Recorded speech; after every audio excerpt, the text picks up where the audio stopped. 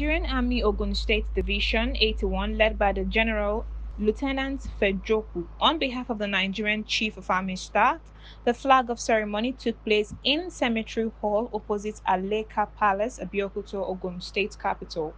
Team of the exercise tagged Still Water. The flag off was chaired by the Ogun State Governor Dapo Abiodun, represented by Secretary to the State Governor Mr. Tokunbo Talabi, the Ogun State Security Chief, Road Safety, Navy Immigration, Nigerian Police, Trans SOFA, Army Staff Association, and Army Wives Association.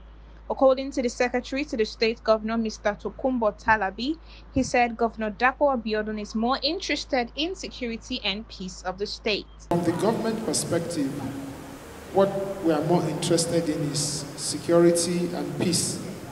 And we felt that during this time, a lot of exuberances take place. A lot of people don't know what they should do. So we are going to be seeing a lot of enlightenment we are going to be seeing advisory from this team, on, and that is why uh, it is appropriately coded as Operation Still Waters.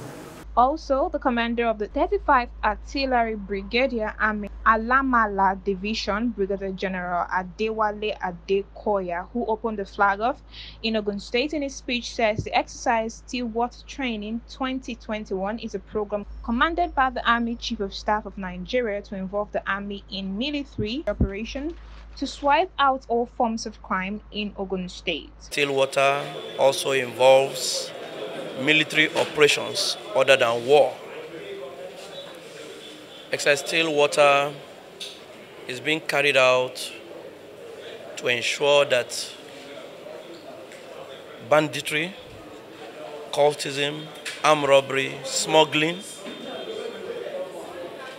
oil thefts, pipeline vandalism, or oil vandalism are all stopped in the state. During the flag off, free medical checkups were available for people in the Gateway state.